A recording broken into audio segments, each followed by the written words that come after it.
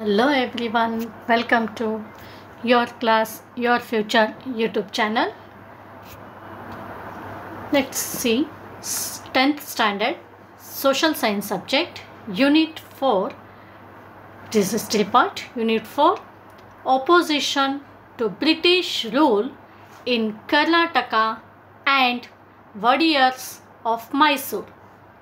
Exercises.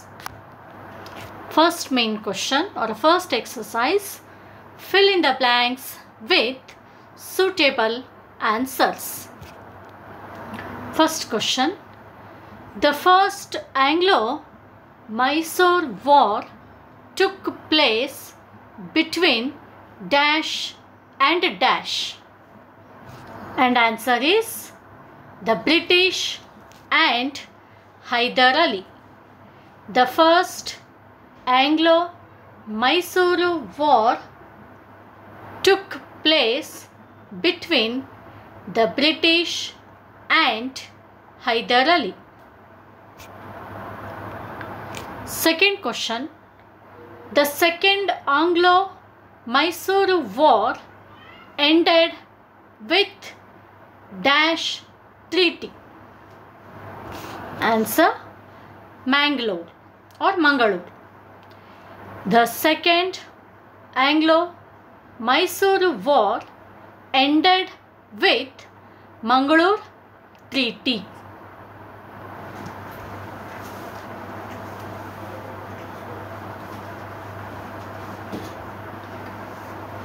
Next, third question Raja Wadiyar made dash as his capital. Answer Srirangapatna. Raja Wadiyar made Srirangapatna as his capital. Fourth one Kitturu Channamma adopted a boy named Dash. Answer Shivalingappa. Kitturu Channamma adopted a boy named Shivalingappa.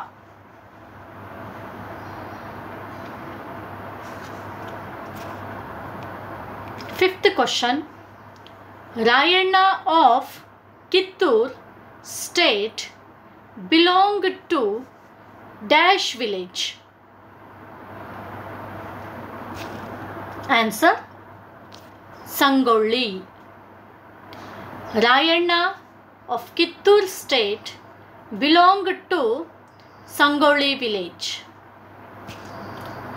Sixth question Surapura is in the present district of dash answer yadgir surpur is in the present district of yadgir.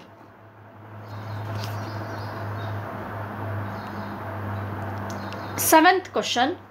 The bedas of dash village of belagam district rebelled against the British?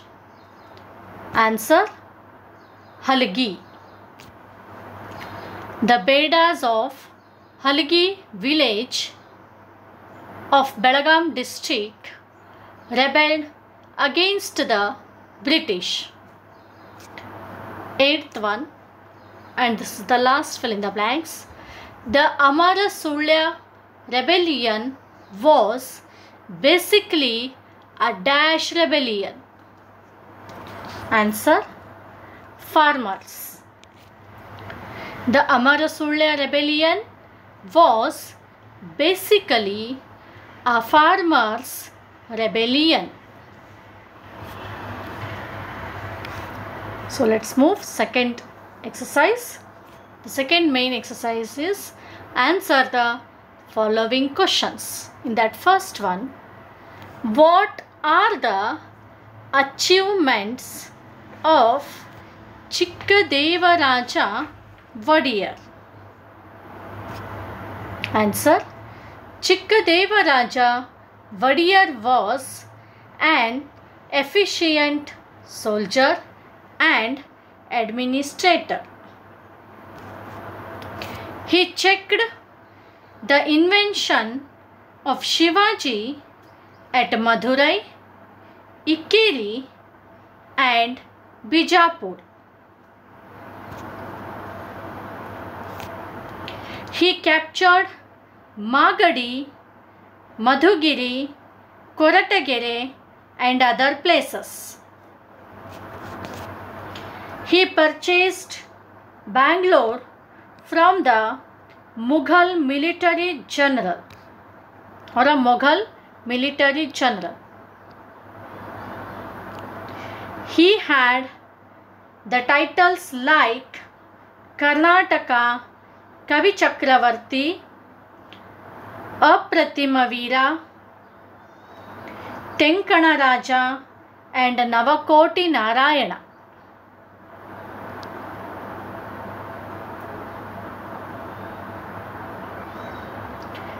He started the Council of Ministers that is Athara Kacheri to help in administration. The postal system came into being during his time. A dam was constructed across river Kaveri and Chikkadevaraja and Doddadeva Raja canal were also constructed for irrigation. He patronized many poets like Tirumalaraya, Sanchi Honnamma, so on. So, these are the achievements of Chikkadevaraja Wadiyar. Second question How did Hyder came to power? Hyder Ali came to power. Answer Hyder Ali gained prominence in this scenario of uncertainty that clouded over the Mysore and Carnatic region.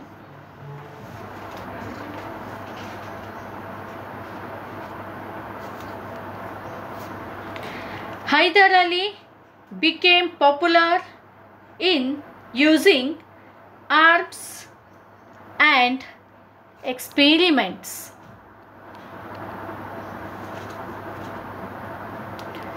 He undertook invention of the forces by active military operations and suppressed the Dalvois. He imprisoned Krishna Devaraja Wadiyar II and kept him under house arrest and took over the power.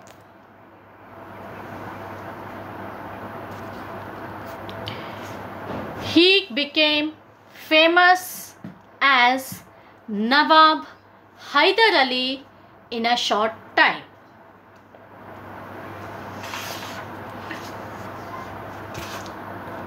Next, third question. What are the effects of Second Anglo-Mysuru War? Answer. Tippu Sultan was waging war in Malabar region when Hyder Ali died. Hyder Ali, the father of Tippu.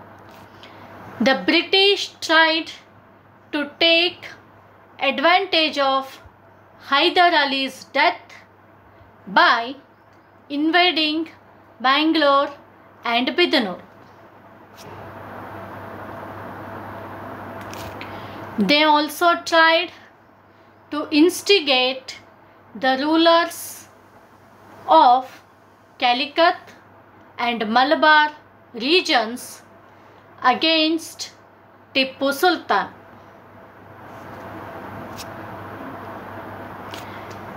Tipu Sultan thought of all these developments and decided to protect Mangalore and the coastal regions. He defeated the British. The Treaty of Mangalore ended the Second Anglo-Mysore War in 1784.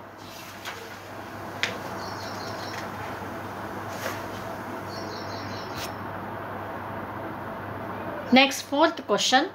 What were the conditions of Srirangapattanam Treaty?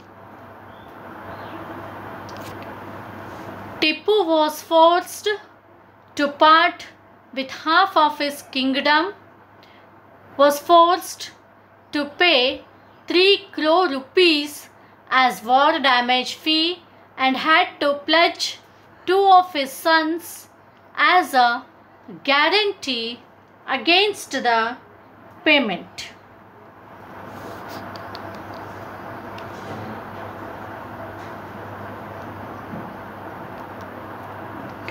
He was also forced to release the prisoners of a war. The British withdrew the combined army from Sri Srirangapattanam. So these are the conditions of Sri Srirangapattanam Treaty. Next fifth question. The fourth Anglo-Mysuru strengthened the position of the British in Mysore. Discuss. Answer. The fourth Anglo-Mysuru war started in 1799. The British were able to destroy the strong fort. Tipu died while fighting the British in 1799.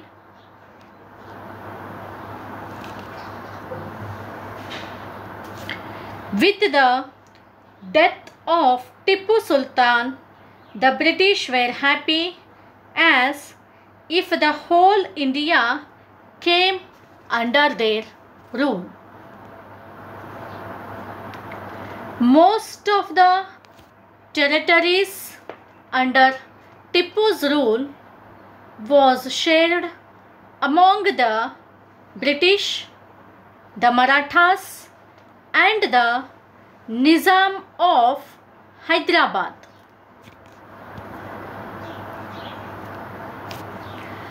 A small territory was handed over to the royal representative of Mysuru Wadiyars.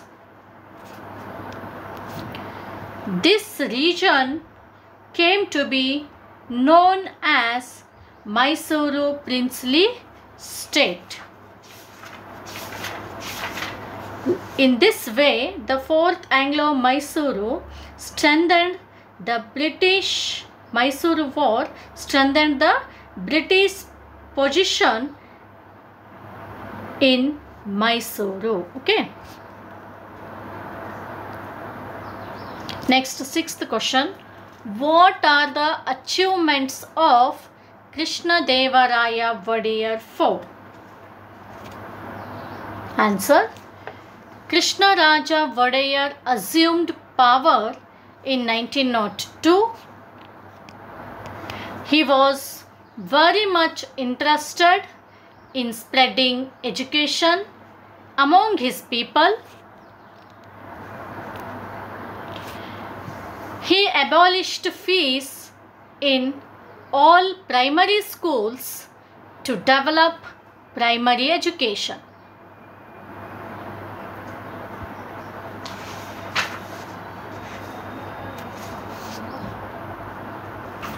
He helped girls' education.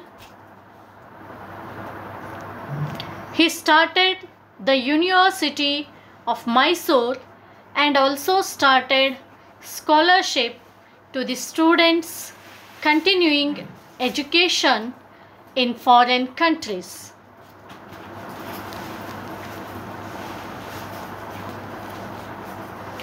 In 1905, the Indian Institute of Science was established in Bangalore with the help of Tata.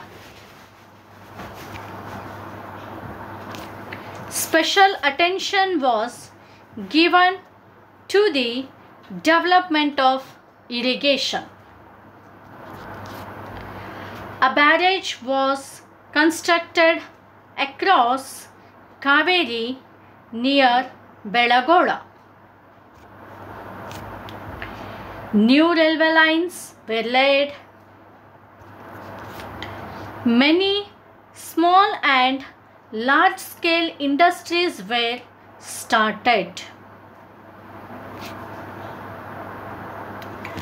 Among them,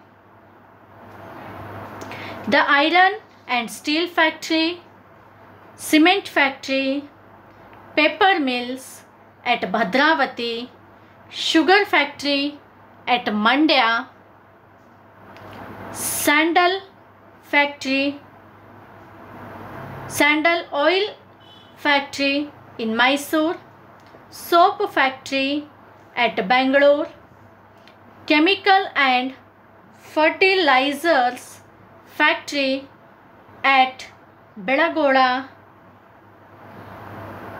and so on.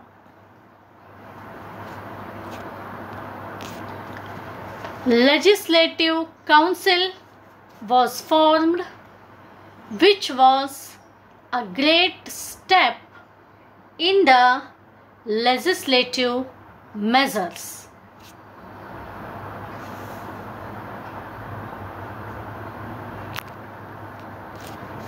He had a lot of interest towards fine arts and encouraged musicians. Mysuru became a model state due to his administration. Mahatma Gandhi ji called him as Rajarshi. So, these are the achievements of Krish- Krishnaraja Wadiyar fort.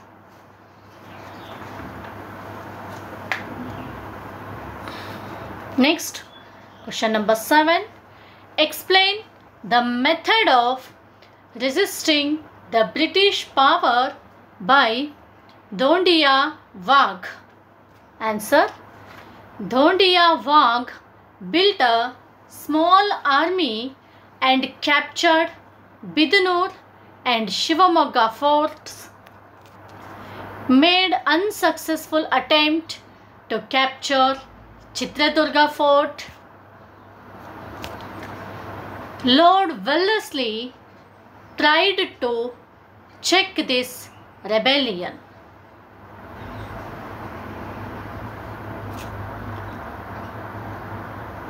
British attack on Shivamogga, Honalli, Harihara. The capture of Shikaripura, Dhondia Wagh ran away towards Gutti. When the Nizam's army attacked Gutti, Dhondia had to run towards the regions of the Marathas. The Maratha army attacked him and captured most of his horses, camel and arms. In spite of these, he continued his warfare. Many unhappy encouraged Dhondia Wagh. The French also extended their support to him. The British army followed him. They attacked from all the directions. The British attacked him near Yelaparavi and killed him at Konaga.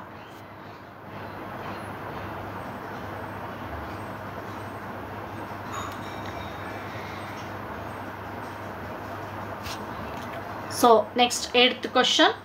Explain the method adopted by Rayana to fight the British.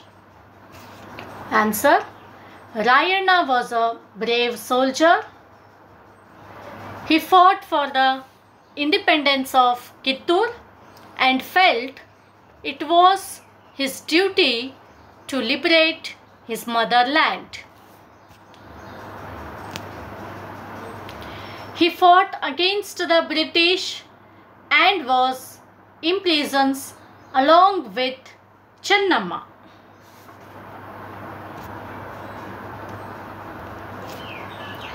He developed a sense of nationalism and went on organizing an army.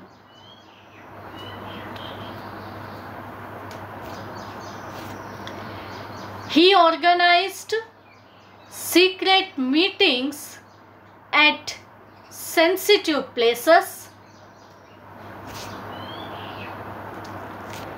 He aimed at looting the treasury and taluk officers of the British. He had an army of 500 men.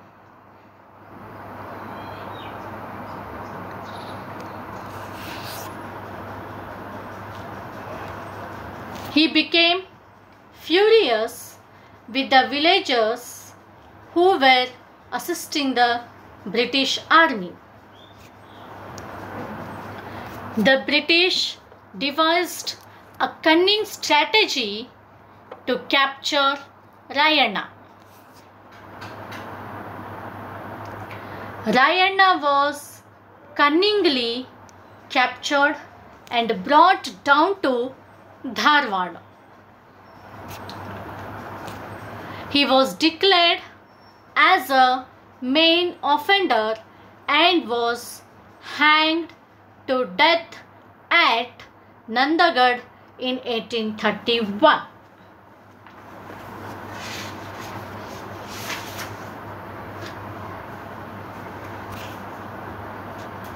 Next question number 9. Explain the contributions of Puttabasappa of Kodagu in the freedom struggle. Answer. Puttabasappa presented himself as Swami Aparampara. Puttabasappa organized the rebels and calmed down the people.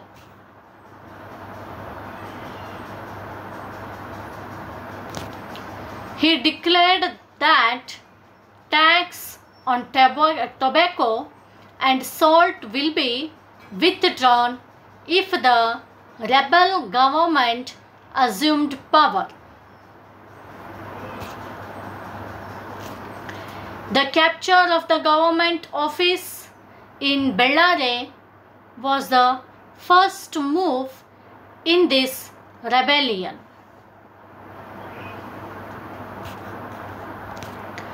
Puttabasappa killed and Amaldar who was known as for his brutality.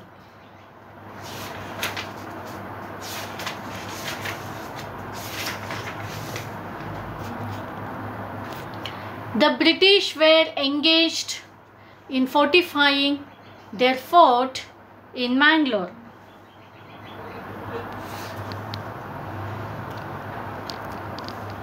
The rebels marched towards Mangalore to Panemangalore and Bantwal. The British sought the army of Talacheri, Kannanur and Bombay to quell this upspring.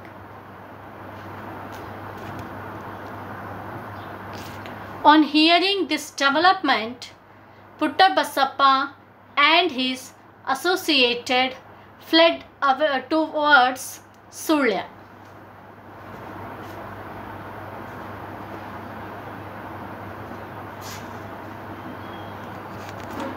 But the British captured them with the help of people in Kodagu.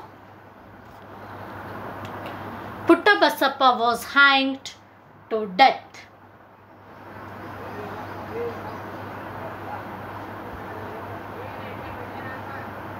Next question number 10. Discuss the Surpura rebellion in brief. Answer. The British government was observing the various developments of Surapura. In 1857, it came to the notice of government that the representative of Nana Sahib were present in Surpura.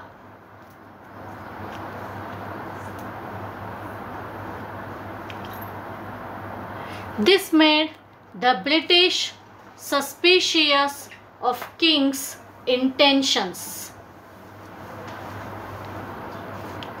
The British appointed an officer named Campbell to report on the various activities of the king. The officer submitted a report to the resident of Hyderabad that the king is involved in maladministration.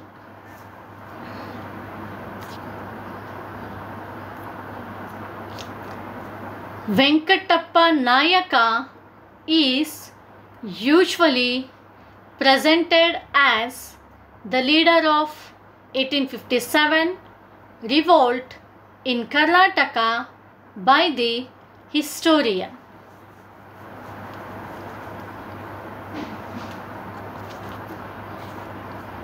The British army captured Surapura in 1858.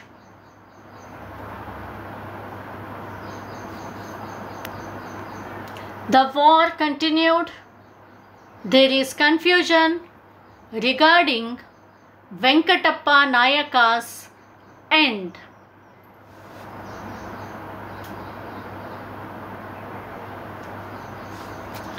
So these are the exercises of a fourth lesson opposition to British rule in Karnataka and Wadiyars of Mysuru. So thanks for watching this video till the end. Please like, share and comment this video and subscribe my channel. That is your class, your future to watch my upcoming videos. Thank you.